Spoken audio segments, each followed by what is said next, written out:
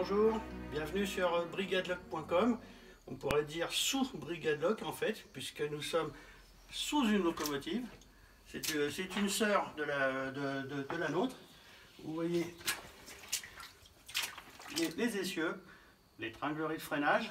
Et aujourd'hui, on est là pour euh, observer euh, le circuit de freinage, le circuit d'air comprimé qui commande le, freinage, pour reproduire la même chose sur la nôtre, pour être compatible avec le système qui est en vigueur à rier.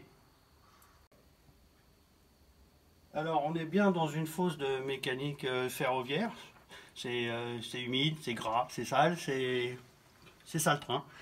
Euh, on va aller observer un peu plus haut dans, le, châssis, la tuyauterie, qu'on va devoir reproduire, certainement avec des modifications, parce que cette locomotive-là a été modifiée, elle a des essieux fixes, alors qu'elle devrait avoir le système euh, euh, allemand des essieux articulés, le fameux système euh, Clean Lindner, je ne dis forcément pas bien, je ne suis pas allemand.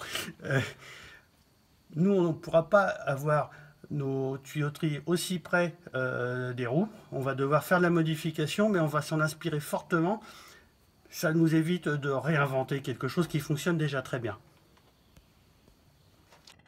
Nous allons utiliser les mêmes tuyaux et raccords en acier. Ce sont des fournitures classiques pour le chauffage central domestique, c'est parfait pour ce qu'on doit faire. Le diamètre est volontairement assez gros pour assurer un débit suffisant pour bien transmettre les commandes. L'inconvénient est que c'est encombrant et rigide, le montage ne sera pas facile. Alors, nos tuyauteries, on va considérer qu'elles arrivent de l'arrière. On va dire que la rame euh, nous alimente. On a un fourgon derrière qui nous envoie de l'air comprimé. On va avoir deux raccords à l'arrière de la locomotive avec des, euh, coupleurs, des vannes d'isolement. La tuyauterie euh, passe sous la, sous la cabine, dans le châssis, à l'extérieur, ça traverse les cloisons, ça repasse à l'intérieur. On a des jonctions qui vont jusqu'à la, euh, jusqu'au robinet euh, de frein du mécanicien. Euh, on, va, on aller le voir. et après, la tuyauterie repart tout droit jusqu'à l'avant de la locomotive, ou pareil, vanne d'isolement et coupleur. Maintenant, on va remonter vers la cabine et on va regarder à quoi servent justement tous ces, ces, terres comprimés, pourquoi on a deux canalisations. On va avoir, bon là on ne les voit pas, on ne voit pas la couleur, mais on a bien une canalisation euh, noire, une canalisation blanche qu'on appelle la conduite principale et la conduite générale. On va voir la différence là-haut. Alors nous sommes maintenant remontés en surface, on est sorti de la fosse. Euh, nous sommes donc dans la cabine de la, de la jumelle, une des jumelles euh, de, de, notre locomotive. Nous sommes ici dans la Polska.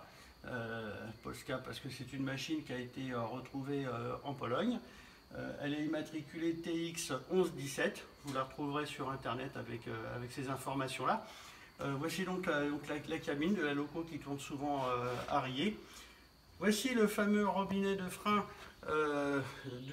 utilisé par le mécanicien pour, pour ralentir. Là ici la poignée est en position neutre, voilà ici en position route. Ici, tout est, euh, tout, est, tout est ouvert, les freins sont desserrés. On peut, on peut rouler. La position euh, neutre euh, va servir surtout après avoir fait un peu de freinage. un peu de freinage, quelques, quelques secondes. Et cette position-là permet de maintenir le freinage en l'état où on l'a réglé. Si on veut faire cesser le freinage, il faut revenir dans la position route. Voilà. Ça, c'est euh, une, une, commande traditionnelle sur les, euh, sur, les, sur les locomotives. On pourra y revenir à l'occasion, si vous, euh, si vous nous le demandez. on, fera une vidéo spécifique sur le sujet, parce qu'il y a quand même beaucoup à dire sur le, sur, sur le frein. le frein, on va dire, le frein continu automatique. On aura, il y a vraiment beaucoup à dire sur, sur, sur la chose. Là, c'était juste pour expliquer pourquoi on a besoin de reproduire ce système-là sur la nôtre. Nous, sur la locomotive, on a un robinet euh, différent, il est beaucoup plus gros, plus massif, mais on a exactement le même fonctionnement, on aura le même genre de raccordement à faire. et ça nous permettra d'être compatible avec l'exploitation euh, à Arié, de pouvoir euh, intégrer la locomotive dans, une rame euh, en circulation. Alors nous voici à l'arrière de la loco, plus précisément à l'arrière du tendaire même. voici les fameux accouplements, c'est par ici que l'air comprimé va nous parvenir. Les accouplements que l'agent de manœuvre doit accrocher et décrocher à chaque fois que la locomotive change de place euh, à l'extrémité de la rame, les vannes d'isolement qui nous permettent de, fermer ou d'ouvrir, on va raccrocher, euh, ça,